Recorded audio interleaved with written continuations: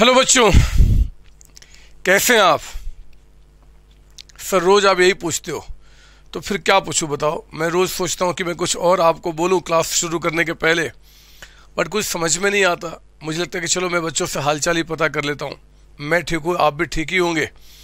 पहले, बचपन में जब हम छोटे छोटे बच्चे थे बच्चे, जब उस समय मोबाइल और फ़ोन नहीं होता था तो हम चिट्ठी लिखा करते थे अपने मम्मी पापा को कि पूजनी पापा दे। मैं यहाँ पे ठीक हूँ। आशा करते हो कि आप भी ठीक ही होंगे। और फिर आगे हम लोग चिट्ठी लिखना शुरू कर देते वही आदत अभी भी लगी हुई है। पहले पूछना आपसे, कैसे हैं आप? देखो लास्ट टाइम हमने जर्नल एंट्री में आपको छोड़ा था चार कॉन्सेप्ट को बताने के साथ। चैप्टर हमारा चल रहा था जर्नल एंट्री आपको याद होगा जर्नल एंट्री और इस जर्नल एंट्री के अंदर में हमने आपको दो रूल बताए थे। कि आपके जो एसेट्स होते हैं और जो एक्सपेंस होते हैं, जरा मुझे बताओ।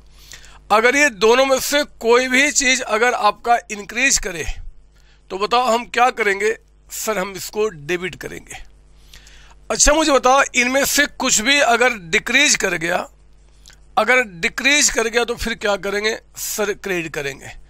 और ठीक इसका उल्टा जो हमारा कैपिटल है कैपिटल है और हमारी जो लाइबिलिटी है लाइबिलिटी है, और हमारा जो इनकम है इनकम यानी कि आपके शब्दों में आप छोटे छोटे प्यारे प्यारे बच्चे हैं तो आप इसको रेवेन्यू के नाम से जानते हैं। इनमें से कोई भी नाम अगर आपका इंक्रीज करता है, इनमें से कुछ भी इंक्रीज करता है तो आपको हमने कहा था क्रेडिट करने के लिए, और आप इनमें से कोई भी चीज़ आप डिक्रीज करोगे डिक्रीज करोगे तो आप इसको क्या करेंगे? डेबिट करेंगे, ये बातें मैंने आपको बताई थी। एसेट्स एक्सपेंस के ठीक उल्टा इस साइड आता है। आप देख रहे हो पिछली क्लास में कहा था कि अगर हमारा, ये लिखना बंद करेंगे आप, अगर यहाँ पे हमारा एसेट्स है, हमने पिछली क्लास में आपको दिखाया था बैलेंस शीट के अंदर में, अगर ये हमारा एसेट्स है तो यहाँ पे कैपिटल और लाइबिलिटी को रिकॉर्ड करते हैं।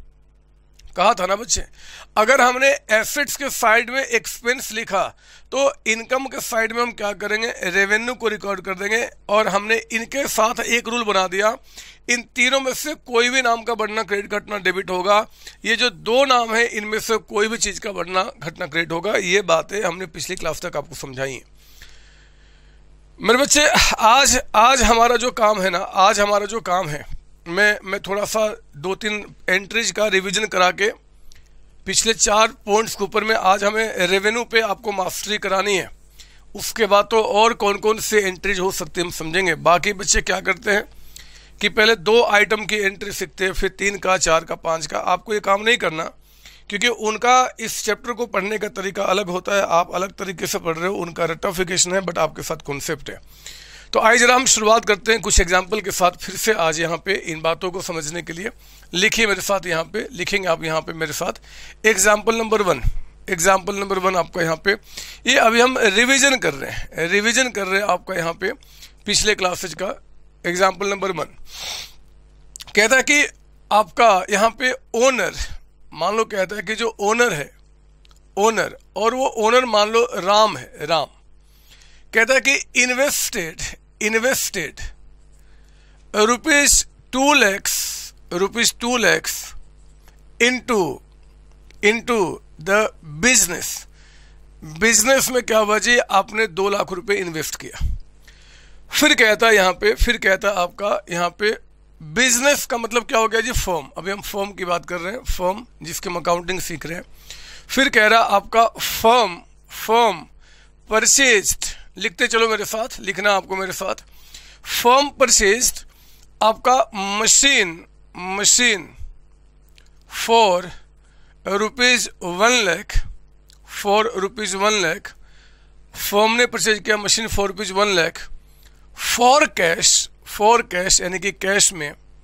और कहता है, फिर आगे यहाँ पे, फिर कहता है एक काम करें क्या? ये ओनर ने जो टू लैक्स इन्वेस्ट किया था ना, मैं इस टू को यहाँ पे टेन लैक्स कर देता हूँ। एक कहानी ही बन जाएगी। एक कहानी बन जाएगी।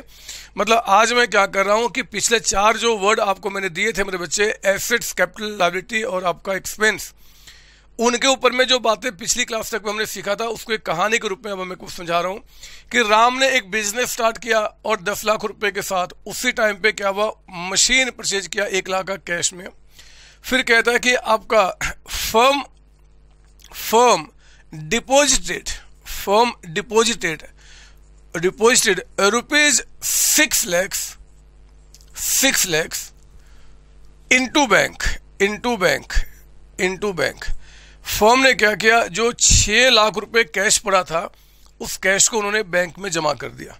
फिर कहता उसके बाद आपका firm purchased firm purchased firm ने परचेज किया, firm purchase, building building worth worth rupees worth मतलब उसकी वैल्यू वर्थ रुपीज़ आपका two lakh fifty thousand two fifty और कहता है कि and and paid by cheque paid by cheque आपने क्या किया, उसका चेक से पेमेंट कर दिया।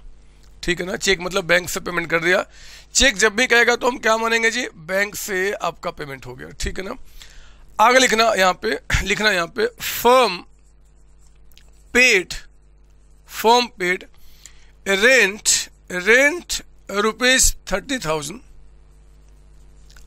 salary salary rupees forty thousand in cash ये दोनों पेमेंट उन्होंने कैश में किया है।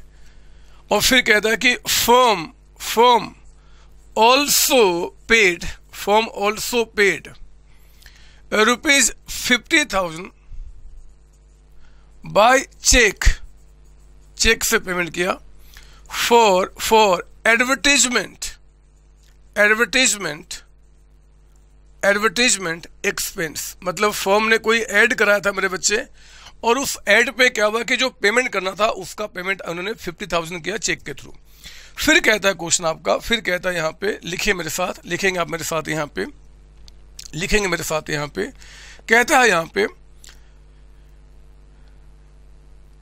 firm also raised also raised loan loan of rupees 7 lakhs 7 lakhs from from bank bank से उन्होंने सात लाख का लोन लिया। सात लाख का लोन लिया मेरे बच्चे। एंड कहता है, या चलो इतना काफ़ी है, सात लाख का लोन लिया। और कुछ बताओ यहाँ पे, और कुछ बताओ। चलो एक और भी ले लेते हैं आपका। फर्म फर्म परचेज फर्म ने परचेज किया। परचेज गुड्स गुड्स आपका costing rupees costing rupees sixty thousand and paid in paid in cash देखो, इतनी सारी बातें। इनमें से कोई भी ऐसी बात नहीं है जो आप नहीं जानते। मेरे बच्चे, इसमें से हर एक बात जो आपका है, वो वो मैंने आपके साथ डिस्कस किया है पिछले दो तीन क्लासेज के अंदर में। आज हमने उसको एक कहानी के रूप में, क्योंकि जब किसी कंपनी में आप काम करने जाओगे, किसी फॉर्म में काम करने जाओगे, या अगर अपना भी फॉर्म खोलते हो तो एक साल में कई सारी बातें होंगी। उन बातों को जो हमने अपने लैंग्वेज में लिखा, हिंदी में लिखा इंग्लिश में लिखा, इसको हमें अकाउंटिंग में दिखाना है जनरल एंट्री के थ्रू तो वो जर्नल एंट्री में इन बातों को कैसे लिखा जाएगा बच्चे, वही बात मैं आपको समझाना चाहता हूँ। मैंने पिछली क्लास में कहा था कि आपको डबल एंट्री सिस्टम में डुअल एस्पेक्ट को ढूंढना पड़ेगा। डुअल एस्पेक्ट में एक आना जाना और दूसरा उसके पीछे का रीजन ढूंढना पड़ेगा और यहाँ पे ज़्यादा कुछ नहीं है। तो आओ जरा मैं यहाँ पे शुरू करता हूँ एंट्री करना यहाँ पे। मैं इसको नंबरिंग कर दूँ क्या, ताकि आपको दिक्कत ना हो? एग्ज़ाम्पल वन इससे लिख दो टू आपका, इससे कर दो थ्री इसे कर दो फोर ये कर दो फाइव ये सिक्स हो गया, ये सेवन हो गया और ये एट हो गया। आठ यहाँ पे ट्रांजेक्शन आपके हुए हैं। तो एट जो फाइनेंशियल ट्रांजेक्शन आपके हुए हैं, हम उनकी रिकॉर्डिंग करना चाहते हैं। We want to pass journal entries तो ना आओ जरा हम स्टार्ट करते हैं यहाँ पे सॉल्यूशन के अंदर में। मेरे पास जगह कम है, मैं ऐसे लिखूँगा, आपको ऐसे लिखना, है ना? सोल्यूशन लिखिए आपका जर्नल एंट्रीज जर्नल एंट्रीज हम जर्नल एंट्रीज पास करें। जर्नल एंट्री कहता, अगर मुझे एक एंट्री पास करना होता बट क्योंकि कई सारी एंट्रीज पास करनी है तो जर्नल एंट्रीज हमने कह दिया। जर्नल एंट्रीज आपका, ठीक है ना? चलो, आ जाओ, पहले वन की बात करते हैं वन की। अब हम समझना शुरू करेंगे। मैं पहले वो दो आइटम समझू कौन कौन से यहाँ पर दिख रहे हैं। देखो ओनर ने क्या किया बिज़नेस में पैसा इन्वेस्ट किया? तो मेरे बच्चे, एक तो बिज़नेस में इतना पैसा इन्वेस्ट हुआ तो बिज़नेस का कैश बढ़ गया। कैश बढ़ गया। है ना? एंड ओनर ने कंट्रीब्यूट किया है, इसके क्लेम को दिखाना होगा। ओनर को हम रिस्पेक्ट देते हुए कैपिटल बोलते हैं, और यहाँ पे कैपिटल भी बढ़ गया आपका। यही तो हुआ। तो जरा बताओ, हम एंट्री में क्या करेंगे? देखो कैश बढ़ रहा है। कैश मेरा एसेट्स है, बढ़ना डेबिट किया जाएगा। तो एंट्री में लिखिए आप यहाँ पे कैश अकाउंट पूरा लिख दूँ क्या मैं? लो। हमने पिछली क्लास में यहाँ पे शॉर्ट में लिखा था ए सी आप ऐसे लिखो तो भी कोई दिक्कत नहीं ऐसे लिखो तो भी कोई दिक्कत नहीं है। कॉन्सेप्ट क्लियर होना चाहिए, बताओ कैश कितना यहाँ जी? टेन लैक्स का अमाउंट दस लाख रुपए उन्होंने क्या किया? बिज़नेस में इन्वेस्ट किया। और हाँ ये हमें ओनर के क्लेम को बढ़ाना होगा। ये देखो कैपिटल आपका। कैपिटल का इंक्रीज होना क्रेडिट किया जाएगा। जब तक आपको इस पर पूरी मास्टरी ना हो जाए, सबसे बेस्ट तरीका आपका होता है कि पहले क्या करेंगे आप? पहले क्या करेंगे? कि आपको ये बातें लिख लेनी है बगल में, फिर उसकी एंट्री पास करनी है। ठीक है ना? तो पहली एंट्री कंप्लीट हो गई। आओ जरा सेकंड एंट्री को देखते हैं। थोड़ा सा स्पीड ज़्यादा रखूँगा, क्योंकि मैं ये मान रहा हूँ कि आपने पिछली क्लास तक की बातों का प्रॉपर रिवीजन किया है। आप मेरी बातों को मानते हैं और इसलिए आप सीरियस स्टूडेंट्स हैं, तभी मैं सारी बातें आपको समझा रहा हूँ। आप इसको मानते हुए सेकेंड पॉइंट में आइए जरा। देखो सेकेंड में क्या हुआ। मेरे बच्चे फर्म ने मशीन परचेज किया। वन लैख का फॉर कैश क्या मतलब निकल के आता है? अगर फर्म ने मशीन परचेज किया, कैश में तो क्या हुआ? फर्म के पास जरा बताओ, क्या बढ़ गया? सर मशीन बढ़ गया। तो मशीन आपका यहाँ पे इंक्रीज कर रहा मेरे बच्चे, और इसका पेमेंट किया तो कैश आपके पास से चला गया। कैश यहाँ चला गया। मुझे बताइए मशीन फॉर्म का एसेट्स है एसेट्स का वर्णना क्या करेंगे? डेबिट करेंगे। तो एंट्री में आप यहाँ लिखेंगे मेरे साथ यहाँ पे मशीन अकाउंट आप यहाँ लिखेंगे debited D R for debited आपका, ठीक है ना?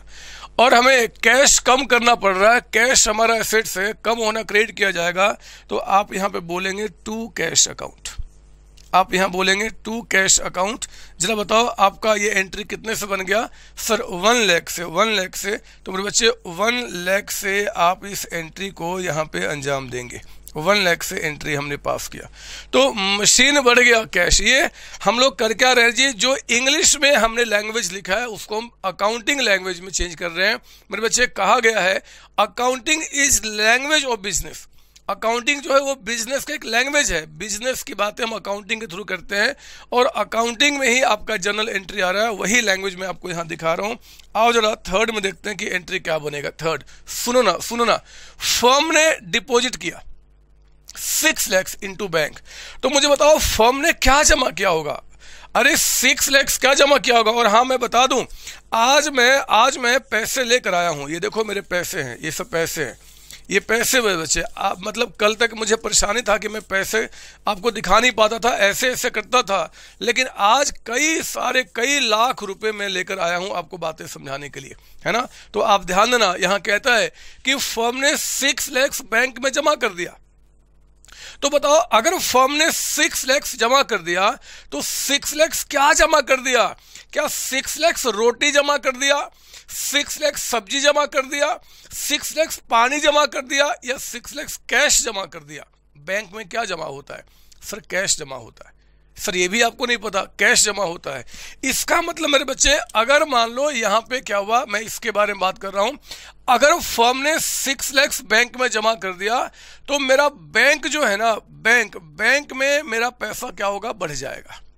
लेकिन जो कैश मेरे गुल्लक में पड़ा हुआ था, वो हमारा क्या हो जाएगा जी? कम हो जाएगा, है ना? बैंक बढ़ जाएगा और कैश कम हो जाएगा। बताओ जरा, अगर बैंक बढ़ेगा तो बैंक यानी कि एसेट्स का बढ़ना क्या करेंगे? डेबिट करेंगे। तो आपकी एंट्री में यहाँ पे बैंक अकाउंट आपका डेबिट हो जाएगा। बैंक अकाउंट डेबिटेड और और कैश चला गया ना? तो कैश जो है मेरे बच्चे, हमारे बिज़नेस से गुल्लक से चला गया कैश कम हो गया क्रेडिट करना पड़ेगा। तो आप बोलेंगे टू कैश अकाउंट मैंने थोड़ा सा स्पीड आज हम ज़्यादा रख रहे हैं, क्योंकि मेरे बच्चे, अब ये बातें आपके लिए बहुत बड़ी बड़ी बातें नहीं हैं। आप ये चीज़ें अब जानना शुरू कर चुके हैं। आपको पिछले तीन क्लासेस से मैं इसी में बोर कर रहा हूँ, बातें इन्हीं को समझा रहा हूँ। तो ये कोई बड़ी बात नहीं है वन टू थ्री कंप्लीट हो गया। आओ जरा फोर्थ एंट्री में आता हूँ फोर्थ एंट्री में। फोर्थ एंट्री में। मेरी बात सुनो ना, मेरी बात सुनो ना। फोर्थ में क्या हो रहा है जरा देखो यहाँ पे। फर्म ने परचेज किया बिल्डिंग बिल्डिंग परचेज किया। अच्छा यानी कि फर्म का बिल्डिंग बढ़ गया। अरे, बिल्डिंग जो फर्म परचेज करेगी तो बिल्डिंग ही तो बढ़ेगा, फर्म के पास बिल्डिंग ही तो आएगा। और हाँ आपने पेमेंट किया चेक से तो बैंक में रखा हुआ पैसा क्या हो गया? कम हो गया। नहीं होता क्या? आप जरा बताओ, अगर पापा ने आपके बिल्डिंग लिए हैं तो बिल्डिंग लेने से पापा के पास बिल्डिंग बढ़ जाएगा। लेकिन पैसा तो चला जाएगा बच्चे, पैसा तो कम हो जाएगा। आप मुझे बताओ, इसकी एंट्री क्या बनेगी? बताओ, इसकी एंट्री क्या बनेगी? अगर फर्म ने बिल्डिंग परचेज किया है तो फर्म का बिल्डिंग यानी कि एसेट्स बढ़ जाएगा। जो एसेट्स बढ़ गया, आप उसको डेबिट करो, आपका एंट्री हो गया बिल्डिंग अकाउंट डेबिटेड और क्योंकि बैंक से पैसा चला गया, बैंक में रखा हुआ पैसा कम हो गया, बैंक आपका एसेट से कम होना क्रेडिट किया जाएगा तो आप यहाँ क्या बोलेंगे? टू बैंक अकाउंट आपने कहा टू बैंक अकाउंट ठीक है ना? तो जरा बताओ, ये कितने का निकल के आ गया आपका? Two lakh fifty thousand two fifty और यहाँ पे आपने लिखा टू फिफ्टी ठीक है ना? टू फिफ्टी टू फिफ्टी ये भी काम आपका हो गया. ये भी काम हो गया. पांचवी एंट्री में आइए, पांचवी एंट्री में आइए, पांचवी एंट्री में, ये देखो फर्म ने रेंट पे किया, सैलरी पे किया कैश में। रेंट पे किया, रेंट कोई पे करता है क्या? या फिर कैश पे करता है? सर, कैश पे करता है। क्यों कैश पे किया जी? क्योंकि रेंट है, एक्सपेंस आपका, है ना? तो जरा बताओ, आप इस एंट्री को देख के बताओ, फर्म ने क्या किया है? यहाँ पे रेंट पे किया, सैलरी पे किया कैश में। तो बताओ, फर्म के पास से क्या चला गया? सर, कैश चला गया। कैश चला गया कैश यहाँ पे माइनस हो गया। लेकिन क्योंकि आप बेनिफिट ले चुके हैं तो रेंट जो आपका एक्सपेंस है ये बढ़ गया और सैलरी जो आपका एक्सपेंस है ये भी बढ़ गया। यही हुआ ना बच्चे? हमने अगर आपको पे किया, अगर हमने रेंट पे किया, हमने सैलरी पे किया तो ठीक है कैश चला गया मेरे पास से। और क्योंकि उस कैश के बदले में हम बेनिफिट ले चुके हैं तो हम क्या करेंगे? एक्सपेंस दिखाएँगे। तो जरा बताओ रेंट आपका एक्सपेंस है। यहाँ देखो यहाँ देखो यहाँ देखो। एक्सपेंस का बढ़ना क्या करेंगे? डेबिट करेंगे। तो एंट्री में आपका रेंट अकाउंट आप यहाँ पे डेबिट कर देंगे।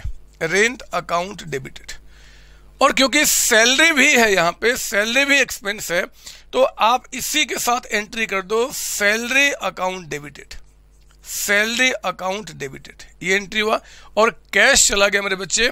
कैश आपका एसेट है, कम होना क्रेडिट किया जाएगा तो टू कैश अकाउंट जरा बताओ जरा बताओ रेंट कितने से थर्टी थाउज़ेंड मुझे बताओ सैलरी कितने से फोर्टी थाउज़ेंड तो बताओ कैश टोटल कितना चला गया? Seventy thousand seventy thousand entry complete sir ये एंट्री को हम दो पार्ट में नहीं कर सकते हैं। रेंट को पे करने की एंट्री अलग कर दो सैलरी को पे करने की एंट्री अलग कर दो। सर नहीं कर सकते हैं। कर सकते हैं आप, क्यों नहीं कर सकते? अकाउंटिंग इज़ एन आर्ट एक लैंग्वेज है, आप जैसे प्रेजेंट कर लो। मैं कहता हूँ कि यार रेंट पे किया।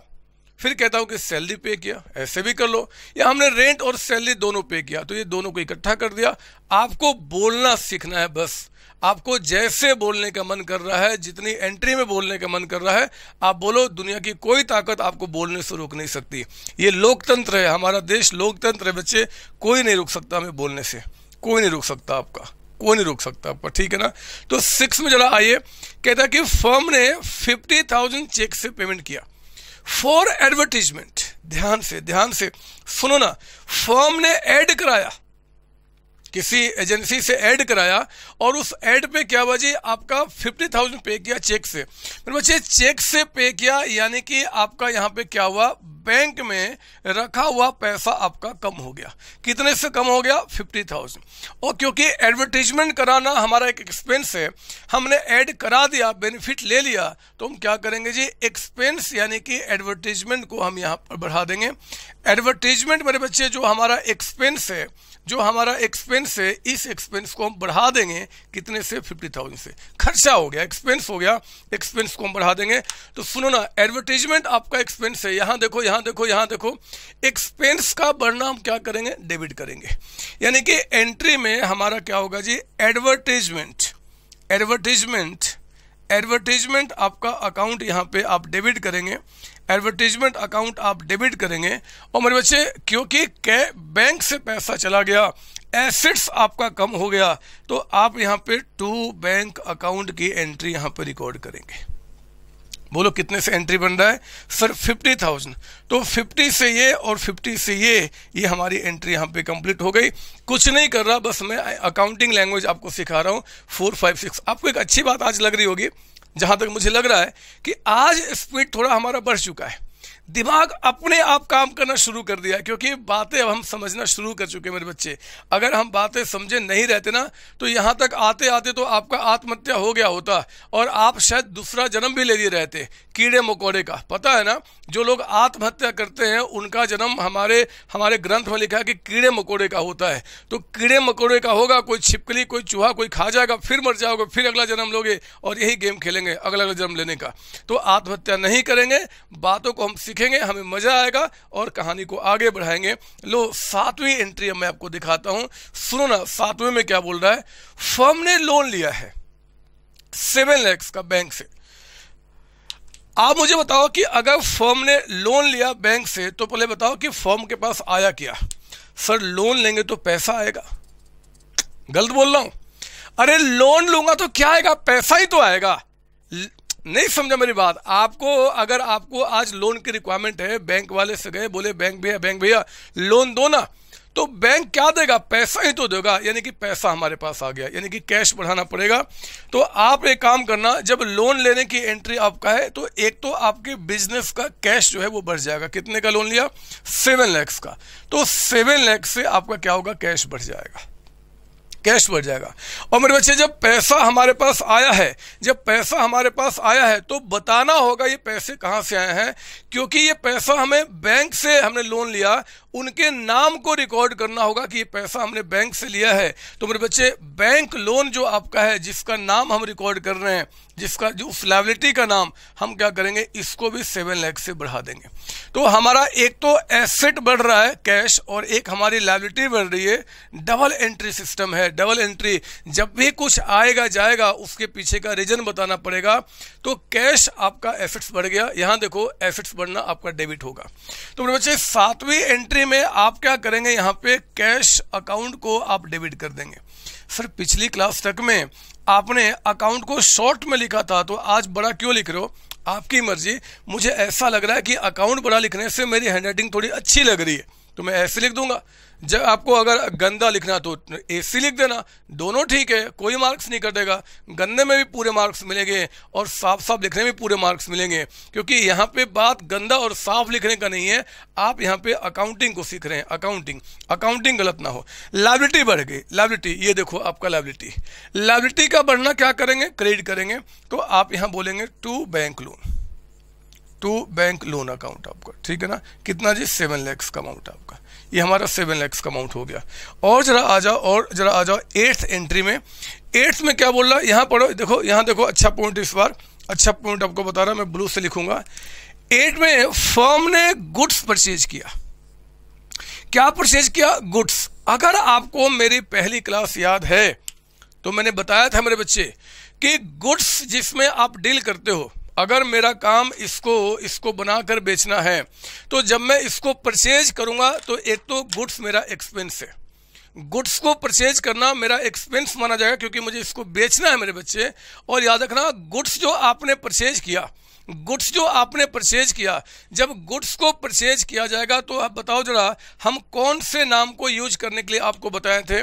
कुछ याद है, जब हम गुड्स परचेज करेंगे तो हमने कौन सा नाम आपको दिया था? सर आपने नाम दिया था परचेजेज अकाउंट। Purchases account. आपने कहा था सर कि गुड्स जिसमें हम डील कर रहे हैं, अगर उसको परचेज करेंगे तो हम बोलेंगे परचेज अकाउंट। गुड्स जिसमें डील कर रहे हैं, अगर हम उसको सेल करेंगे तो बोलेंगे सेल्स अकाउंट। अगर आप भूल चुके हो तो पहले का जो मेरा पहला या दूसरा क्लास है अकाउंटिंग टर्म के अंदर में बेसिक अकाउंटिंग टर्म्स के अंदर में, उन क्लासेज को दोबारा देखें, उनको समझने के बाद ही हम यहाँ पे बढ़ेंगे। तो मेरे बच्चे, हमने कहा यहाँ पे, जब गुड्स को परचेज करोगे तो परचेज अकाउंट आपका क्या हो रहा है? जी, बढ़ रहा है। परचेज का मतलब क्या? एक्सपेंस और एक्सपेंस का बढ़ना हम डेबिट करेंगे। तो मेरे बच्चे, एक तो आपका परचेजेज अकाउंट एक क्या हुआ आपका? परचेजेज अकाउंट आपका यहाँ पे डेबिट हुआ। जरा बताओ गुड्स हमने कितने का परचेज किया है? आ, सर आ, आपने सिक्सटी थाउज़ेंड का। तो सिक्सटी थाउज़ेंड से हमने क्या किया इसको बढ़ा दिया। और मेरे बच्चे हमने इसका पेमेंट कैश में किया है। इसका पेमेंट कैश में किया है कैश हमारा एसेट्स है अगर वो कम होगा तो क्रेडिट करना पड़ेगा। तो आपने क्या बोला यहाँ पे to cash account to cash account. ये लीजिए पूरा लिख देता हूँ आधा कुछ भी लिखिए बट सिक्सटी थाउज़ेंड से एंट्री को आप दिखाएँगे। तो परचेज टू कैश अकाउंट हो गया। याद रखना मशीन को परचेज करूँगा तो मशीन को डेबिट करूँगा।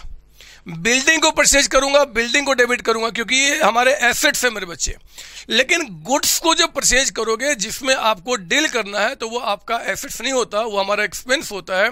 तो आपने क्या करना है जी, परचेज अकाउंट को दिखाना है। रिपीट कर रहा हूँ गुड्स को परचेज करना, परचेज अकाउंट के नाम से दिखाया जाता है। ये बातें मैंने आपको पहली और दूसरी क्लासेज में समझाई हैं। मुझे विश्वास है कि आपको बातें याद होंगी। अगर नहीं भी हुई, कोई बात नहीं, आप इंसान हैं। आप एक बार दोबारा उसका रिविजन कर लो। कोई बड़ी बात नहीं है। मेरे बच्चे, यहाँ तक हमने पिछली क्लास में बातें आपको बताई थी, उन्हीं का मैंने क्या क्या एक शॉर्ट आपको रिविजन करा दिया। और कुछ भी नहीं, आज मकसद मेरा ये है ही नहीं। और ये परचेज सेल जो अकाउंट का नाम है ना, हम इस पर दोबारा बाद में आएँगे। आज तो मकसद है, बस मैं आया हूँ आपको यहाँ पे रेवेन्यू का मतलब समझाने के लिए। रेवेन्यू का मतलब समझाने के लिए मेरे बच्चे, आज आज मैं रेवेन्यू का मतलब समझा दिया ना तो इस जीवन में आने का मकसद पूरा हो जाएगा। आपका भी और मेरा भी। कि हाँ जी, अब हमने अकाउंट्स सीखना सीखना शुरू कर दिया। और अकाउंट्स जो हमने ऑप्ट किया अपना सिलेबस उसमें हमने कोई गलत काम नहीं किया। कौन साइंस के चक्कर में पड़ेगा? कौन साइंस बहुत गंदा साइंस था मेरे बच्चे। आप प्लीज़ बुरा नहीं मानना जो बच्चे साइंस वाले मेरे क्लास को देख रहे हैं।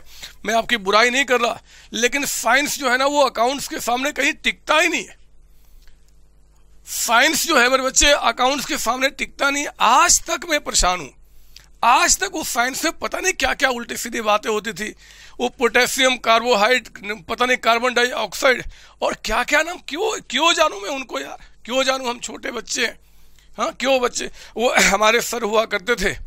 वो कहते थे कि देखो जी, आपका साइंस में एच टू ओ बन गया वाटर वो कहते थे कि एच टू ओ मतलब वाटर कहाँ वाटर बना? आप बताओ एच टू लिखने से कभी वाटर बनेगा क्या?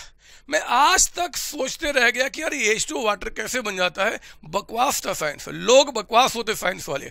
आप एक काम करना, आप नीचे उतरना। अगर कोई बच्चा साइंस वाला है, पूछना, तुम साइंस पढ़ते हो? बोलेगा हाँ। उसको देखना, हंसना, भाग जाना वहाँ से। वो बकवास लोग हैं, उनको कुछ नहीं आता। अरे, सब कुछ हमारे कॉमर्स में छिपा है। एक एक चीज़ यहाँ पे कॉमर्स में जो है ना, आपका प्रूफ के साथ है। यहाँ कोई प्रूफ नहीं, मैं प्रूफ दिखाऊँगा। मेरे बच्चे, हमारा जो अकाउंट्स है ना, एक वर्ड पे टिका हुआ है assets is equal to assets is equal to capital plus liability नहीं बताया था बैलेंस शीट वाला आपका। मैं आपको हर एक मोड पे प्रूफ करूँगा। थोड़ा समय आने दो कि यही वो चीज़ है। Assets is equal to capital plus liability जिसमें पूरा अकाउंटेंसी हमारा टिका हुआ है। और एक एक वर्ड को मैं प्रूफ करूँगा। साइंस वाले जैसा नहीं कि एच लिख दो तो वाटर बन गया टू पता नहीं क्या क्या लिख दो तो ये बन गया, वो बन गया। सॉरी माफ़ कीजिए। वो वो बकवास सब्जेक्ट होता है। मज़ा दुनिया में कुछ है तो सिर्फ़ कॉमर्स के अंदर में है। आज तो आपके अंदर वो शक्ति स्थिति आ गई है कि एक साइंस वाले बच्चों को भी आप देखोगे ना। अगर वो साइंस वाला बच्चे पाँच मिनट आपसे बात कर गया तो साइंस छोड़ देगा, मोह माया तोड़ तो सब कुछ तोड़ देगा और वो कॉमर्स कॉमर्स कहना शुरू कर देगा। नहीं बच्चे दुनिया में कुछ भी, आपके कॉमर्स में जो कुछ है, वो सिर्फ़ कॉमर्स के अंदर है। साइंस वाले तो कुछ नहीं होते आर्ट्स वाले कुछ नहीं होते। प्लीज़ जो बच्चे साइंस आर्ट्स वाले जो देख रहे हैं पूरा बुरा नहीं मानना, लेकिन मैं क्या करूँ? सच्चाई व्यक्त कर रहा हूँ हमारे कॉमर्स कम्युनिटी का। आज आज देख रहा आज एक गलत, अजब सा चेंज होगा। ये जितने सारे कॉमर्स वाले बच्चे हैं, जो मेरे इस क्लास को देख रहे हैं, इस क्लास को देखने के बाद घर से बाहर निकलेंगे और चिल्लाएँगे रोड पे जाके, रोड के बीच में खड़े हो जाएँगे, चिल्लाएँगे कॉमर्स जिंदाबाद कॉमर्स जिंदाबाद और साइंस मुर्दाबाद आर्ट्स मुर्दाबाद, ये चिल्लाएँगे। चाहे वो कितने भी पिटाई क्यों ना खा जाए दुनिया वालों से साइंस और कॉमर्स आर्ट्स वालों से, लेकिन वो चिल्लाएँगे। क्योंकि कॉमर्स की शक्ति बढ़ते जा रही है।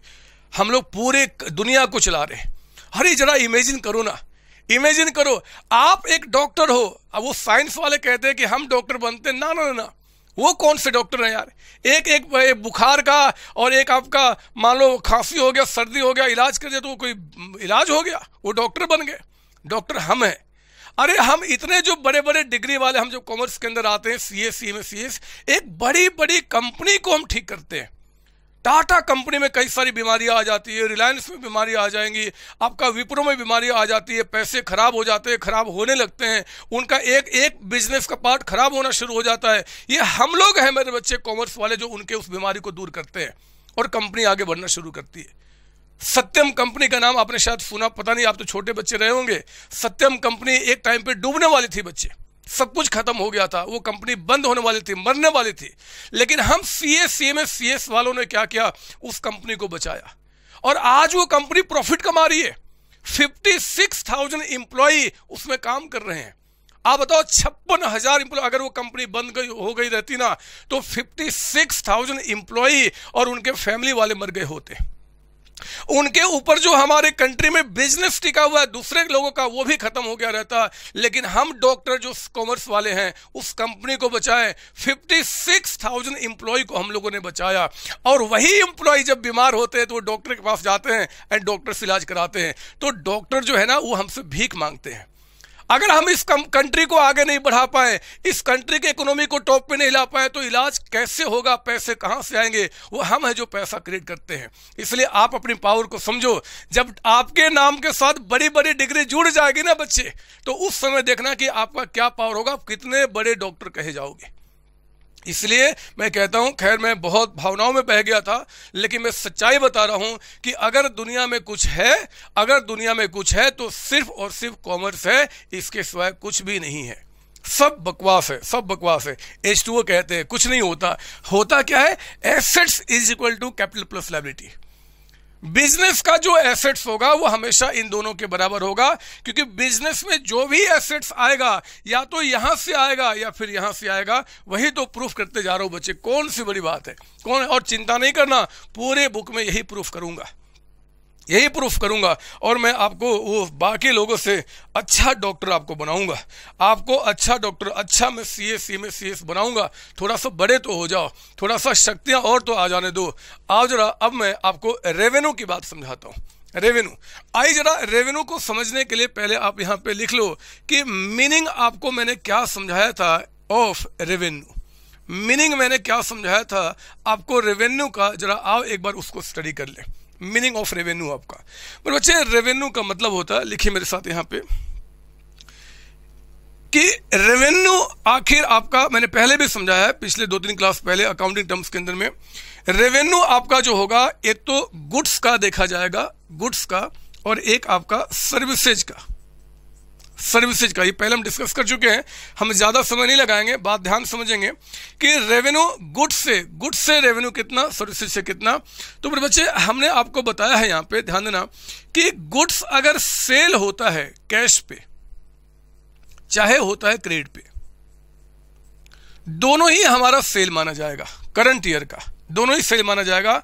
और सर्विसेज़ कहता है कि इफ़ सर्विसेज़ अगर सर्विसेज़ कहता है have been if services have been rendered अगर मैं आपके लिए काम कर चुका हूँ, अगर मैं आपको पढ़ा चुका हूँ तो इट मीन्स इसका मतलब है it means revenue has been earned revenue has been earned इसका मतलब क्या जी? Revenue has been earned revenue आपका हो चुका है। याद है ना? हमने कहा था गुड्स कैश पे बेचा चाहे क्रेडिट बेचा फ़र्क नहीं पड़ता। पैसा आ गया, चाहे पैसा आगे आएगा, फ़र्क नहीं पड़ता। गुड्स अगर आपने सेल कर दिया है, इस वर्ष में तो रेवेन्यू आपका हो चुका। आप उसको रेवेन्यू रिकॉग्नाइज कर लो, पैसा चाहे कभी भी आए। सर्विसेज़ के केस में कहा था कि अगर आपने सर्विसेज़ को रेंडर कर दिया it means income has been earned और फिर हमने कहा था it does not matter it does not matter ये मैटर नहीं करता. It does not matter whether W H E T H E R whether cash has been cash has been received or not cash has been received or not. मेरे बच्चे, आपने पैसा receive किया या पैसा अभी तक रिसीव नहीं किया, फ़र्क नहीं पड़ता। सर्विसेज़ को रेंडर करना इनकम होता है।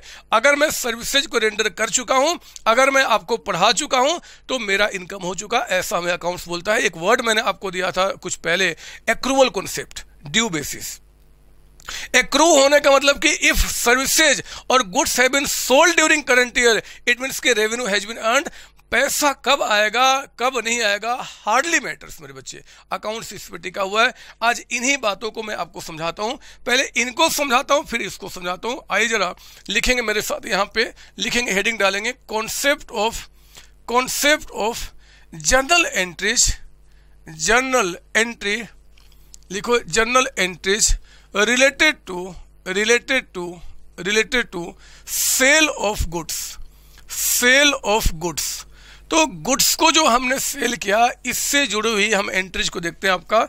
हम इनको देख लेंगे, फिर इनको देख लेंगे, फिर ये टॉपिक खत्म हो जाएगा। फिर जितना हम प्रैक्टिस करें, हम प्रैक्टिस कर सकते हैं। देखो ना, इसमें लिखो मेरे साथ यहाँ पे एग्ज़ाम्पल नंबर वन पहला आपका। कहता कि firm sold firm sold goods goods for for rupees five lakhs for rupees five lakhs in cash in cash मेरे बच्चे कहता कि फर्म ने जो गुड्स थे उनको बेच दिया। ये देखो, ये मैं इसमें डील करता हूँ। आपको याद होगा, मैंने आपको पहले बताया भी है, मैं इसमें डील करता हूँ। और मैंने इन गुड्स को क्या क्या मेरे बच्चे सेल कर दिया। अगर मैंने इस गुड्स को सेल कर दिया और सेल किया कैश पे तो याद कीजिए, आपको याद आएगा, मैंने आपको बताया था कि जब भी गुड्स को सोल्ड किया जाता है, जब हम गुड्स सोल्ड करते हैं तो ये हमारा रेवेन्यू है मेरे बच्चे, ये हमारा रेवेन्यू है, और इसको हम सेल्स अकाउंट से प्रेजेंट करते हैं, सेल्स अकाउंट। याद कीजिए, गुड्स जब हम परचेज करेंगे तो परचेज अकाउंट दिखाते हैं, जब गुड्स हम सेल करते हैं तो हम सेल्स अकाउंट दिखाते हैं। ये बातें मैंने आपसे पहले बताई हुई हैं। गुड्स जब परचेज करेंगे तो परचेज अकाउंट एक्सपेंस हो गया। वही गुड्स अगर हमने सेल किया तो सेल्स अकाउंट आपका दिखाया जाएगा। तो ये हमने क्या किया जी? गुड्स बेचा है तो एक तो हमारा रेवेन्यू हो गया। रेवेन्यू हो गया, लिख दू मैं यहाँ पे। ये हमारा क्या है जी? रेवेन्यू है। रेवेन्यू हमारा है। है ना? रेवेन्यू तो जरा बताओ, सेल किया तो रेवेन्यू बढ़ रहा है ना बच्चे? रेवेन्यू बढ़ गया। बढ़ गया इनकम आपका। जब सेल करूँगा तो हमारा इनकम होगा रेवेन्यू होगा, बढ़ गया। और हाँ जब सेल किया तो कैश आपके पास आया। अरे जरा बताओ ना, जरा बताओ ना, अगर मैं गुड्स बेचता हूँ, अगर दुकान वाला गुड्स बेचता है, अगर दुकान वाला गुड्स बेचता है तो उसके पास क्या आएगा? सर, कैश आएगा। कैश आएगा कि जाएगा? सर, आएगा, सर। सेल किया तो पैसे आएँगे ना। सर, आएँगे। यानी कि कैश जो है ना मेरे बच्चे, कैश, ये जो एसेट है, ये जो एसेट है, ये भी क्या हो रहा है? यहाँ पे बढ़ रहा है। एक तो हमने सेल किया तो हम अपना इनकम बढ़ाएँगे, हमारा रेवेन्यू बढ़ेगा और दूसरा हमारा क्या बढ़ेगा जी? यहाँ पे कैश बढ़ेगा। तो एंट्री क्या होगा जरा बताओ? एंट्री क्या होगा? नज़र यहाँ नज़र यहाँ। जरा बताओ एसेट्स का बढ़ना क्या किया जाएगा? एसेट्स का बढ़ना डेबिट तो एंट्री में कौन सा एसेट्स है? कैश हम उसका नाम पूरा लिखेंगे। कैश अकाउंट आपका debited cash account debited cash को डेबिट करेंगे। और मेरे बच्चे, क्योंकि गुड्स सेल किया, जब भी गुड्स को आप, गुड्स का मतलब जिसमें आप डील कर रहे हो, अगर आप उसको बेचोगे तो उस रेवेन्यू को, उस इनकम को सेल्स अकाउंट के थ्रू दिखाया जाएगा। नज़र यहाँ डालो, नज़र यहाँ डालो। रेवेन्यू जब आपका इंक्रीज करेगा तो आप क्या करेंगे? क्रेडिट करेंगे। क्रेडिट करेंगे आप यहाँ पे तो एंट्री आ गया टू सेल्स अकाउंट और आपने एक कसम खाया है मेरे साथ कि आप यहाँ पे कोई भी अभी दिमाग में इफ़ और नहीं लाएँगे। अभी ये होगा तो क्या होता, ये होगा तो क्या होता, आप छोड़ दो मेरे ऊपर में, वो मेरा काम है, वो मैं कराऊँगा। आपका काम जितनी बातें आपको समझा रहा हूँ, बस उतना समझना है। तो मेरे बच्चे, आपने क्या किया, यहाँ पे जब फर्म ने गुड्स बेचा तो कैश बढ़ गया एंड टू सेल्स अकाउंट कोई डाउट इसके अंदर में? डाउट कोई? नहीं सर नहीं, कोई डाउट नहीं आया सर समझ में आ गई सर बात. तो फर्म ने जो गुड्स बेचा पाँच लाख का, आपने क्या किया? कैश टू सेल्स अकाउंट आओ ना, हम एग्ज़ाम्पल नंबर टू पे आते हैं. एग्ज़ाम्पल नंबर टू पे आते हैं. एग्ज़ाम्पल नंबर टू पे. सुनो मेरी बात मेरी बात सुनो, मेरी बात सुनो. अब अब एक और कॉन्सेप्ट यहीं पे लिखिए. फर्म ने फर्म ने सोल्ड किया firm sold goods firm sold goods कहते हैं कि आपका for for rupees eight lakhs for rupees eight lakhs firm ने इस बार जो गुड्स बेचा मेरे बच्चे एट लैक्स में, कहता है कि and and received and received payment receive payment इसका जो हमें पेमेंट मिला है, वो कहता है बाई चेक वो चेक के थ्रू मिला बच्चे. चेक कह दे या बैंक कह दे आपको परेशान नहीं होना, दोनों का मिलिंग हमारा बिल्कुल सेम रहेगा। तो फर्म ने मेरे बच्चे आठ लाख का गुड्स बेच दिया और कहता है कि आपने क्या किया? चेक यानी कि बैंक से पैसा रिसीव किया। एट लैक्स का हमने सेल किया और पैसा हमने क्या किया जी? बैंक से रिसीव किया। मैं समझ गया हूँ कि आप मेरे इशारे को समझ गए हो। मेरा इशारा नहीं, इस क्वेश्चन का।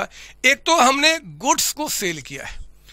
जब भी गुड्स बिकेगा, मशीन नहीं बचे। मशीन बिका तब तो मशीन लिखूँगा।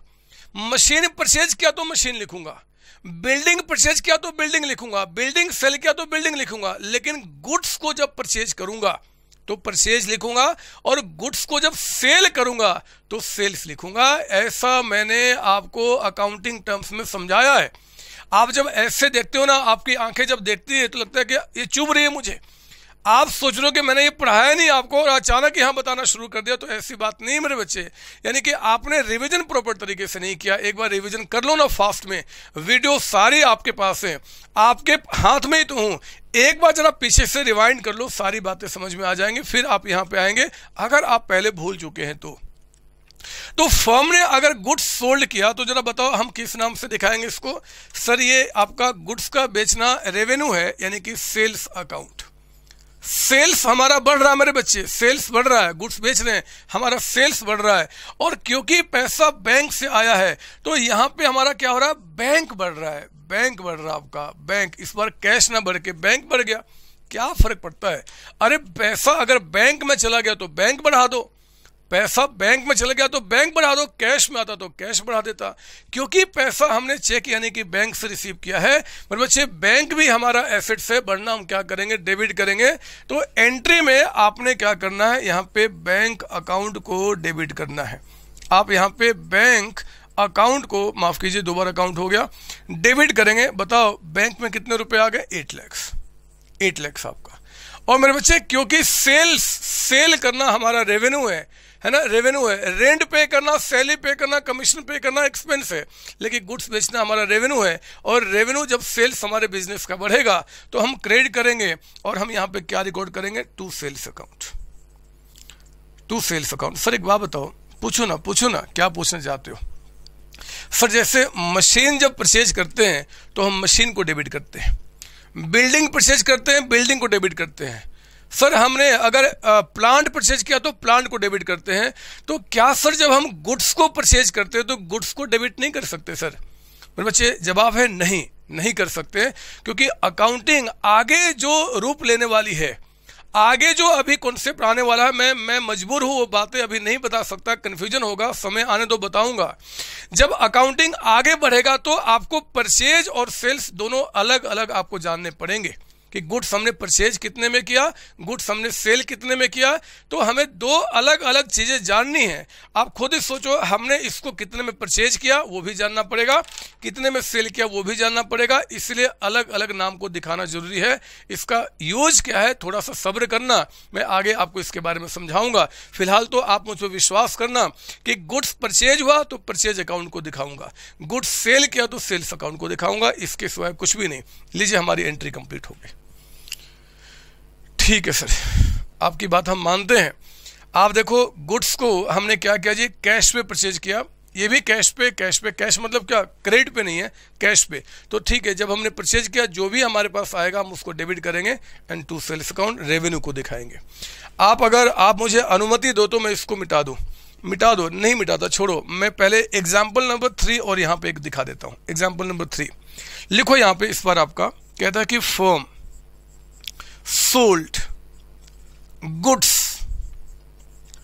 for rupees 3 lakhs 3 lakhs on credit basis लो, आपने क्रेडिट बेसिस पे बेचा है on credit basis to customers to customers to customers मेरे बच्चे, इस बार जो आपने सेल किया, इस बार जो सेल किया वो कैश पे करने के बजाय आपने कैसे बेचा है जी? ऑन क्रेडिट ऑन क्रेडिट एक तो हमने गुड सेल किया है गुड सेल किया।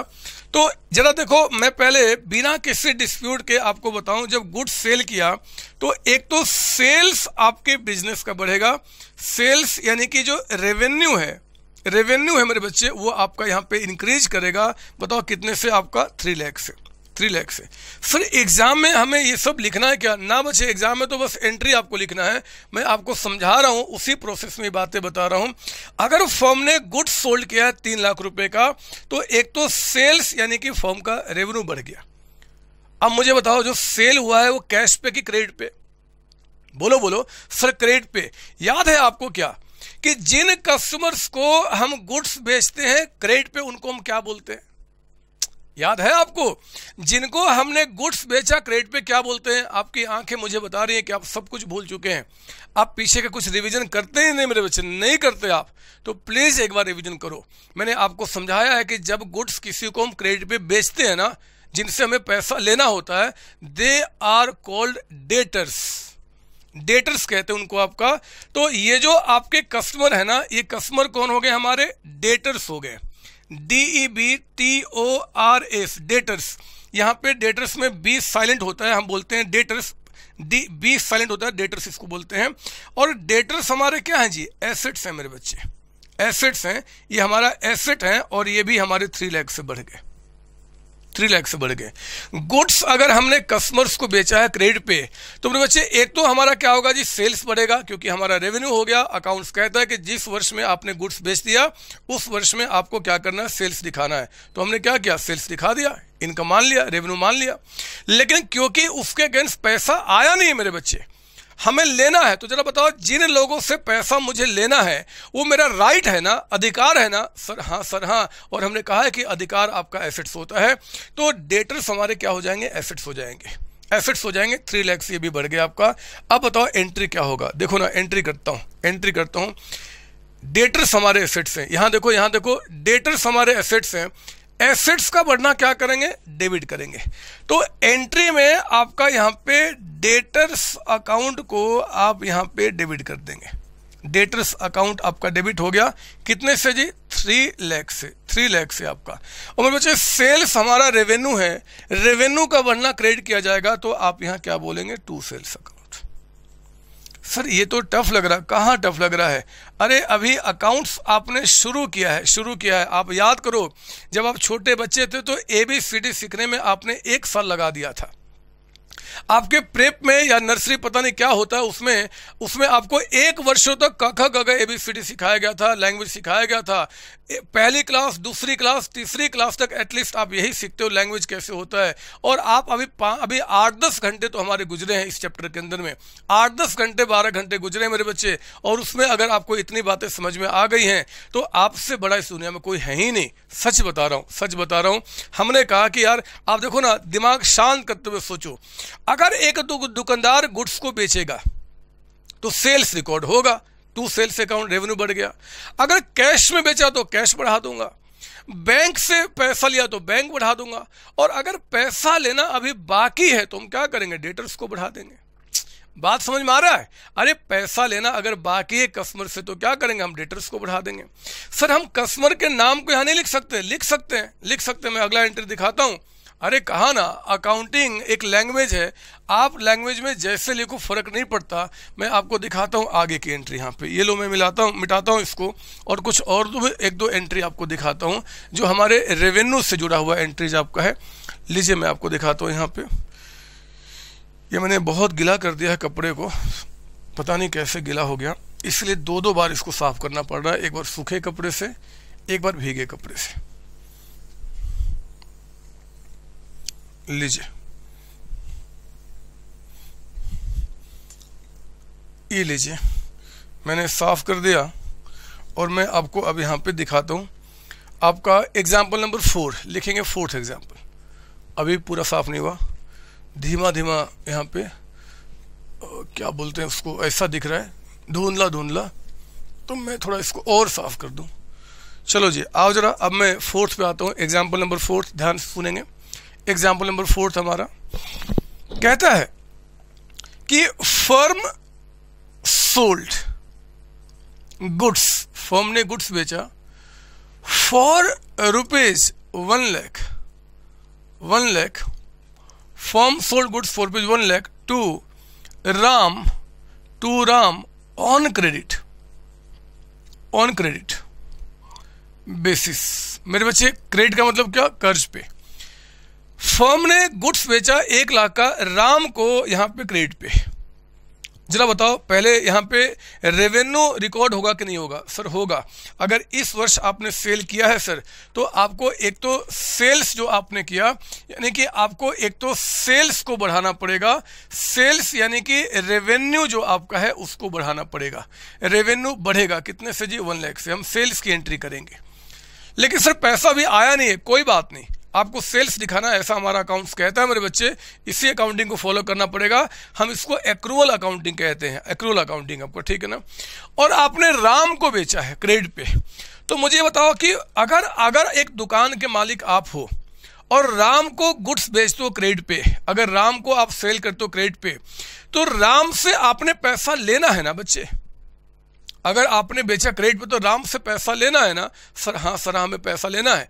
अगर आपने राम से पैसा लेना है, अगर आपने राम से पैसा लेना है तो मेरे बच्चे, फर्म के पास, आपके पास एक राइट क्रिएट होगा कि मुझे पैसा लेना है। अकाउंट्स में राइट का आना एसेट्स होता है।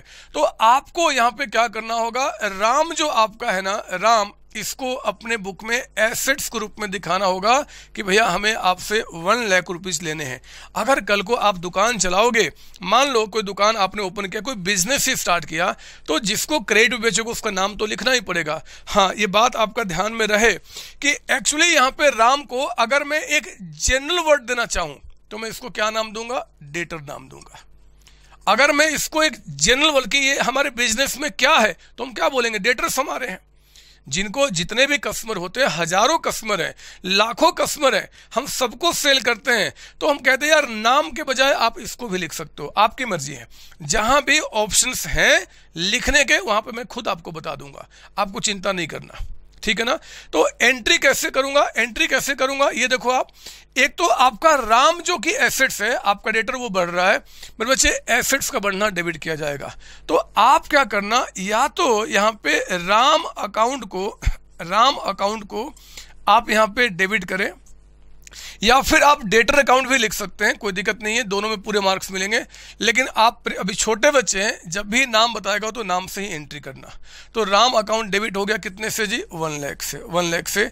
और हमें सेल्स सेल्स यानी कि रेवेन्यू रिकॉर्ड करना है तो हम यहाँ पे क्या बोलेंगे? टू सेल्स अकाउंट क्योंकि आप जानते हैं रेवेन्यू का बढ़ना यहाँ पे हमारा क्रेडिट किया जाता है वन लाख की एंट्री रिपीट कर रहा हूँ, राम की जगह पे अगर आप चाहो तो यहाँ पे डेटर अकाउंट भी लिख सकते हो आप डेटर अकाउंट भी लिख सकते हो। लेकिन जब नाम बता देगा तो नाम से ही एंट्री करना यहाँ पे एक्सपेंस के केस में नहीं गुड सेल के केस में बात कर रहे हैं। तो आपने क्या करना है डेटर्स अकाउंट कह दो, या राम अकाउंट दोनों ठीक है। राम टू हमने कह दिया सेल्स अकाउंट आपको, ठीक है ना? एक और करो आप जरा यहाँ पे example number five example number five कहता है कि firm sold firm sold, goods goods, थोड़ा सा टिपिकल बना रहा हूँ। कहता है कि costing rupees costing rupees one lakh twenty thousand for rupees one lakh fifty thousand one fifty two two कहता है कि सोहन टू सोहन, आपका on credit basis on credit basis आपका।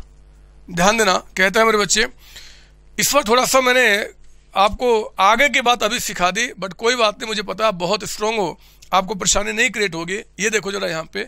फर्म ने गुड्स सेल किया। मेरे बच्चे, जब भी गुड्स सेल किया तो एक तो आपका सेल्स तो बढ़ेगा ही बढ़ेगा। सेल्स यानी कि जो आपका रेवेन्यू है, ये तो आपका बढ़ेगा ही बढ़ेगा। लेकिन सवाल उठता है कि सेल्स की एंट्री में कितने से करूँ? जरा बताओ मुझे शायद लग रहा है कि आपको आंसर मिल चुका मेरे शब्दों में। मैं आ, कौन हूँ? फर्म मैंने एक लाख बीस हज़ार का गुड्स हमने सोहन को 150 में सेल कर दिया। डेढ़ लाख में बेच दिया। 150 में सेल किया। तो बताओ, सेल जो रिकॉर्ड होगा, आप जो बुक में लिखोगे कि भैया हमने इतने का सेल किया, वो सेल की एंट्री आपका कितने से होना चाहिए? सर, सेल की एंट्री आपका यहाँ पे वन लैख फिफ्टी थाउज़ेंड से होना चाहिए। मेरे बच्चे 120 का था। ये पेन हमने 120 में परचेज किया था, लेकिन बेच दिया 150 में। तो सेल करने की एंट्री कितने पे होगी? 150 जितने में सेल किया। जितने में सेल किया, उसी से तो एंट्री करूँगा। तो मैं भी नोट भी लिखाऊँगा, चिंता नहीं करना। लेकिन याद रखना, ये जो आपका 120 क्वेश्चन बता रहा है, ये सेल की एंट्री के लिए यूजलेस है। क्या फ़र्क पड़ता है? दुकानदार ने जितने में सेल किया, उसी से तो एंट्री करेगा। तो सेल की एंट्री कितने से होगा? जी 150 से और जरा बताओ 150 में बेचा, ये क्रेडिट भी बेचा हमें। तो डेटर से पैसा लेना है। डेटर कौन है जी यहाँ पे? सोहन। ये मेरा एसेट है मेरे बच्चे। सोहन मेरा एसेट है, जिससे पैसा लेना है एसेट मेरा बढ़ रहा है। तो मैं जरा बताओ, इनसे पैसे कितने लूँगा? 150 अरे, हमें पेमेंट भी तो 150 लेना है। अगर मैंने आपको 150 में कोई सामान बेचा तो पैसे भी तो 150 ही लूँगा। यानी कि 150 150 ये एंट्री होगा। अब एंट्री करते हैं। सोहन हमारा एसेट है। जब भी किसी से पैसा लेना होगा, अगर आप देखना आपकी मुट्ठी बंद रही है, यानी कि राइट क्रिएट हो रहा है तो हम एसेट्स रिकॉर्ड करेंगे। सोहन, आप एसेट्स का बढ़ना डेबिट कीजिए। तो सोहन अकाउंट को आप यहाँ पे डेबिट करेंगे। अकाउंट डेबिट करेंगे। कितने बच्चे? One lakh and fifty thousand 150 और आपने सेल्स यानी कि रेवेन्यू को बढ़ाया तो आप यहाँ क्या बोलेंगे? To sales account. रेवेन्यू का बढ़ना, टू सेल्स अकाउंट 150 150 आपका। बात समझ में आ गई? तो हमने एंट्री किया। हाँ मैंने बता दिया, सोहन अकाउंट के जगह पे हम और क्या लिख सकते हैं? डेटर्स अकाउंट, क्योंकि हमारा डेटर्स है। लेकिन जब नाम दिया रहेगा तो नाम से ही एंट्री पास करना।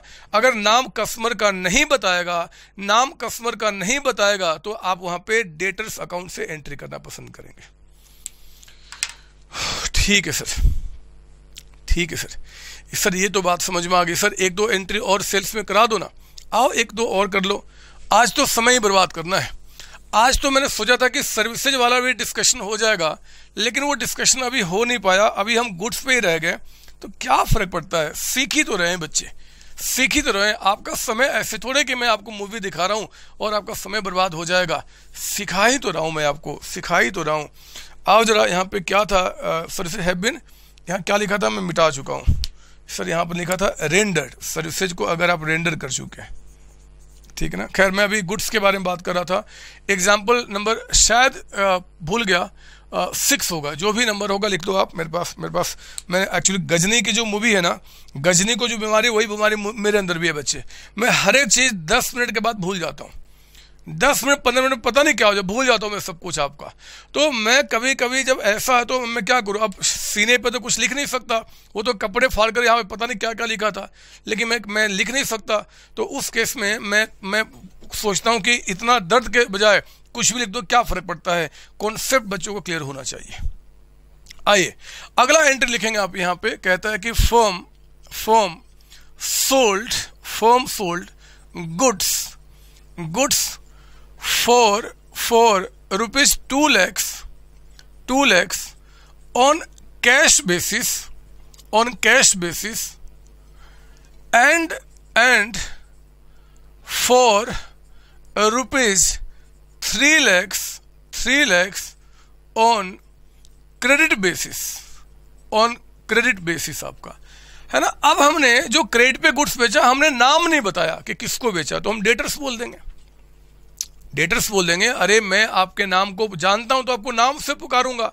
नाम नहीं जानता तो फिर क्या करूँगा आपको? आपको बोलूँगा, लड़का लड़का या लड़की लड़की, इतने सारे लोग हैं तो उसी तरीके से नाम से पुकारेंगे। बताओ, पहले यहाँ पे क्या इंपैक्ट हुआ? मुझे पहले इतना बताओ कि आपका इस क्वेश्चन में जो आपका सेल्स बढ़ा है, जरा बताओ, इस क्वेश्चन के मुताबिक जो आपने सेल किया है सेल जो आपने किया है, यानी कि आपका रेवेन्यू जो है वो कितने से रिकॉर्ड होगा? रेवेन्यू कितना हो गया? Sir two plus three five यानी कि फाइव लैक्स का सेल आप रिकॉर्ड करेंगे। लेकिन जरा बताओ फाइव लैक्स का जो सेल किया, उसमें से कैश कितना आ गया? टू लैक्स तो कैश जो है मेरे बच्चे कैश जो कि आपका एसेट है कैश जो आपका एसेट है, वो कितने से बढ़ गया? टू लैक्स से आपका। दो लाख से कैश बढ़ गया। और थ्री लैक्स का सेल हमने क्रेडिट पे किया है। तो जब सेल क्रेडिट पे किया और नाम ना बताया, किसको तो हम उनको क्या बोलेंगे? डेटर्स बोलेंगे। डेटर्स बोलेंगे D E B T O R S लगा देना। डेटर्स जब बहुत लोग होंगे, ये मानते हो कि बहुत लोगों को बेचा होगा, और ये भी हमारे एसेट होते हैं। ये भी हमारे एसेट होते हैं। कितने से आपका? थ्री लैख से आपका। लो एंट्री हो गई। लो सॉरी एंट्री नहीं। हमने इसको इंटरप्रेट कर लिया।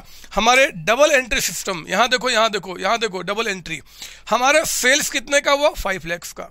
इस फाइव में कैश कितना है? टू लैक्स और क्रेडिट कितना? थ्री लैक्स कंप्लीट पाँच लाख का सेल हुआ, दो लाख कैश पे, तीन लाख क्रेडिट पे double entry complete dual aspect dual जितने से डेबिट बढ़ेगा, उतना क्रेडिट भी बढ़ेगा. ये ब्रह्मा जी भी अगर ज़मीन पे आ जाए तो उसको चेंज नहीं कर सकते. सर आप भी तो कहते कि आप ब्रह्मा जी हो. उनका रूप हूँ मैं, उनका रूप हूँ. और मैं भी चेंज नहीं कर सकता बच्चे, क्योंकि अकाउंटिंग इसी पे टिका हुआ है. इसी पे टिका हुआ है. तो आओ ना हम इसकी एंट्री करें. ये देखो, हमारा सेल्स बढ़ रहा है, हमारा कैश बढ़ रहा है और डेटर्स बढ़ रहा है. कैश एसेट्स का बढ़ना एसेट्स का बढ़ना डेबिट तो एंट्री में आप यहाँ पे कैश अकाउंट को आप डेबिट कर देंगे। कैश अकाउंट को आप डेबिट करेंगे, टू लैख से आपका, टू लैख से कैश बढ़ा दिया। पर बच्चे, डेटर्स को थ्री लैक्स का हमने यहाँ पे सेल किया है। तो डेटर्स जो हमारे हैं, डेटर्स जो हमारे हैं, ये डेटर्स भी हमारे एसेट्स आपके बढ़ जाएँगे। जरा बताओ, ये कितने से बढ़ गया? थ्री लैख से। थ्री लैक्स दोनों एसेट्स हैं एसेट्स का बढ़ना डेबिट और रेवेन्यू हमारा जब बढ़ेगा तो क्रेडिट करेंगे। आप यहाँ पे क्या बोलेंगे जी? टू सेल्स अकाउंट सर क्या इसकी हम दो अलग अलग एंट्री नहीं कर सकते? कर सकते बच्चे। और करो ना, कौन रोकने वाला है? कौन रोकने वाला है? दोनों को अलग दिखाओ। आप या मतलब कैश के सेल की एंट्री अलग कर दो, क्रेडिट सेल्स की एंट्री अलग कर दो। आपको जैसे करना करो, आपको कोई रोक नहीं सकता। बस आपको लैंग्वेज जो है, वो प्रॉपर तरीके से पूरा होना चाहिए। मतलब सेल की एंट्री पूरी होनी चाहिए। ठीक है सर। सर कुछ और? आओ एक दो और सीख लो ना। आ, अब तो इसका डिस्कशन आज हो ही नहीं पाएगा। क्लास ऑलमोस्ट ख़त्म होने वाली है। हम इसी पे टाइम गुजार लें। तो आज जरा एग्ज़ाम्पल नंबर यहाँ लिखिए आपका सेवेंथ सेवेंथ लिखना firm firm sold goods costing rupees costing rupees five lakhs for for rupees seven lakhs firm ने पाँच लाख के गुड्स को कितने बेचा जी? सेवन लैक्स में। सेवन लैक्स में सेल किया बच्चे। कहता है, यहाँ पे इसके बाद सेवन लैक्स फुल स्टॉप आगे लिखना। Firm received firm received received fifty percent fifty percent payment payment in cash in cash and and remaining and remaining 50% 50% by cheque by cheque cheque का मतलब क्या हो गया? बैंक से आपका। मैं मैं समझ चुका हूँ कि आपके दिमाग में आंसर आ चुका है, लेकिन लेकिन आपको मेरे पीछे पीछे भी चलना मेरे बच्चे। मेरी बातें समझनी है, उसके बाद आप जानते हैं। पहले बताओ पाँच लाख का सेल हमने सेवन लैक्स में किया। तो बताइए सेल्स जो रिकॉर्ड होगा रेवेन्यू जो रिकॉर्ड होगा, वो सेल यानी कि रेवेन्यू कितने से होगा? सर सेवन लैक्स से। सेवन लैक्स से ये फाइव लैक्स कोई काम का नहीं है। यूजलेस इंफॉर्मेशन हमने सेल किया सेवन लैक्स का, ठीक है? सेवन लैक्स का सेल किया मेरे बच्चे। अच्छा बताओ, इनमें से आधा, फिफ्टी परसेंट मतलब कितना? आधा। कैश में आ गया। तो बताइए, आपके बिज़नेस में कैश जो है, यानी कि एसेट, वो बताओ कितने से बढ़ गया? सर, कैश बढ़ गया 350 से। आपको पता है ना आपका सेवन लैक्स का 50 परसेंट थ्री फिफ्टी होता है और बाकी 50 चेक से आया तो चेक वाला पैसा बैंक में चला गया, यानी कि बैंक बढ़ गया बैंक भी आपका एसेट है, वो कितने से? 350 से। कौन रोक सकता है आपको इसकी एंट्री पास करने से? कौन रोक सकता है इसकी एंट्री पास करने से? आओ ना, हम इसको एंट्री में कन्वर्ट करें। बताओ जरा, आपका कैश बढ़ा है एसेट बढ़ा है तो एसेट का बढ़ना हम क्या करेंगे? डेबिट करेंगे। कैश अकाउंट डेबिटेड आपका थ्री लैख फिफ्टी थाउज़ेंड ये आपने बैंक से पैसा रिसीव किया, बैंक भी आपका एसेट है, बैंक बढ़ना भी डेबिट होगा तो बैंक अकाउंट डेबिट किया आपका 350 से। और मेरे बच्चे रेवेन्यू यानी कि जो मेरा सेल है, वो सेल की एंट्री सेवन लैक्स से करना पड़ेगा, यानी कि टू सेल्स अकाउंट आपका सेवन लैक्स की एंट्री आपका। हो गई बात। कर दिया हमने हमने कर दिया। हम हम तो बहुत आगे निकल चुके पता नहीं आज ऐसा क्यों लग रहा है। मुझे ऐसा क्यों लग रहा है कि आप में से हर एक बच्चे के शरीर में, हर एक पार्ट में दो से तीन इंच का इंक्रीमेंट हो चुका है। आप जरा मेज़रमेंट कर लो, विश्वास नहीं है तो कि आपके बॉडी में हर एक पार्ट में दो से तीन इंच का इंक्रीमेंट हो चुका है मेरे बच्चे। वो शक्तियाँ जो जनरल एंट्री की है, वो आपके शरीर के अंदर में प्रवेश कर चुकी हैं। आपके शरीर को इतना उन्होंने स्ट्रोंग कर दिया है कि कोई भी अगर आपके बगल में खड़ा हो जाए तो वो टिक नहीं सकता। इस बात की गारंटी देता हूँ। आपको विश्वास नहीं है तो एक बार जाओ ना, जरा किसी पेड़ को, आप किसी पेड़ पे ज़ोर से अपने सर को मारो, जितना ज़ोर से मार सकते हो, आपके सर में कुछ नहीं होगा, वो पेड़ टूट के नीचे गिर जाएगा। आपको विश्वास नहीं है तो जाओ जरा अपने किसी दीवार पे ज़ोर से सर को मारो, जितना ज़ोर से मार सकते हो। बिलीव करो, आपके सर में कुछ नहीं होगा, वो दीवार टूट के गिर जाएगा, उतनी शक्ति आपके अंदर भर चुकी है। सच बोल रहा हूँ बच्चे कभी झूठ नहीं बोलता। आपको नहीं पता तो एक बार जरा करके देख लेना बहुत मज़ा आएगा उन शक्तियों को फील करने में जब शरीर में थोड़ी गनगनाहट होगी। गनगनाहट जब आप दीवार जब दीवार से सर को टकराओगे ना जब आप रोड पे मारोगे सर पे मार पे, क्या बोलते पेट से मारोगे एक गनगनाहट होगी आपके बॉडी के अंदर में। बहुत मज़ा आता है। कई वर्षों तक उस गनगनाहट को आप फील करोगे। ये भी मुझे विश्वास है। तो आओ जरा, मैं आगे अब ज़्यादा कुछ नहीं बोलूँगा। मैंने आपका आज रेवेन्यू में गुड्स के कैश और क्रेडिट का डिस्कशन कर लिया। ये बातें समझा दी।